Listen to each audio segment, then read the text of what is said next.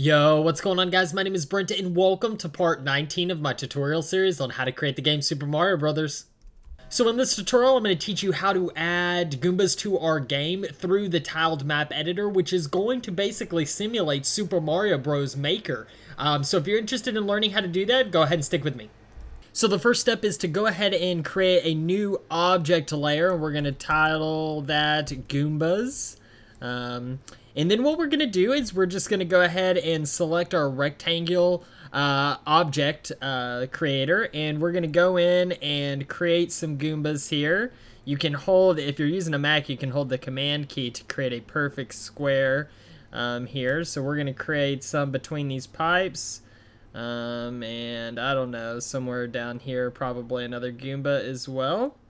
There we go. So I actually want to add one more right here so I can show you collision between two enemies. And then I want you to take note that the Goomba uh, layer is layer 0, 1, 2, 3, 4, 5, 6. So layer 6 is our Goomba's object layer. So instead of our B2 world creator, we're going to create a new private array of Goombas. And we're going to call this Goombas. And then down here below where we create our coins, we're to say create all Goombas. And we'll create, um, we'll say Goombas equals new array. Goomba array. And then what we're to do is we're to copy this, paste it right here. Instead of layer 4, like I said, we're to get layer 6. And then we're to create a new, uh, we're going to say goombas dot add new goomba.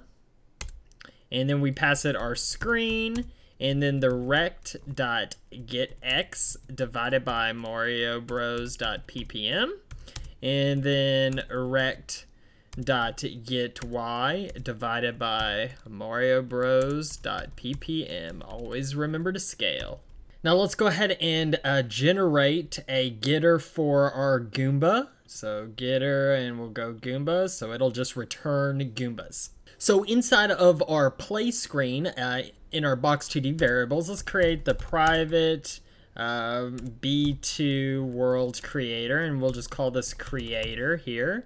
We're going to get rid of our Goomba here. We're going to scroll down a little bit to where we created our new world creator. Previously, we didn't define it to a variable, so we're just going to say creator equals a new B2 world creator. We're going to go ahead and get rid of this Goomba. We're going to get rid of the update the Goomba here. And we're going to get rid of the draw Goomba here.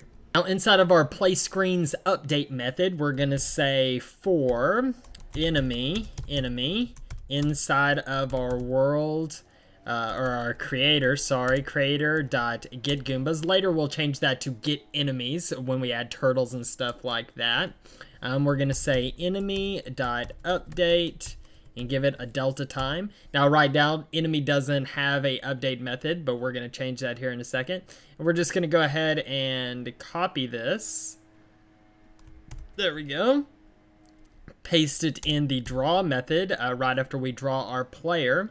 And we'll say enemy.draw and then give it our game.batch.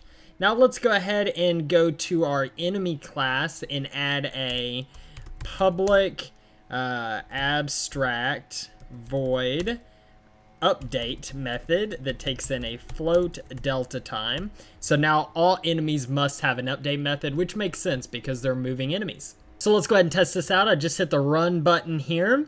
And so we come across two Goombas there. We come across some uh, moving Goombas here. And the reason that these Goombas aren't moving is because we haven't handled uh, in our collision handler what to do when two enemy objects collide. Uh, so if I go ahead and stomp one, that one will go ahead and continue moving. Let's go around the other side of our world where we created our last Goomba. Make sure he is there. Um, but basically, that is um, that is it. I mean, we are basically creating a Super Mario Maker uh, with our game in Tiled. So inside of our world contact listener, let's go ahead and create a new case. Uh, the case that uh, Mario Bros. dot enemy bit collides with Mario Bros. dot enemy bit. And then what we're to say is we're to copy this right here.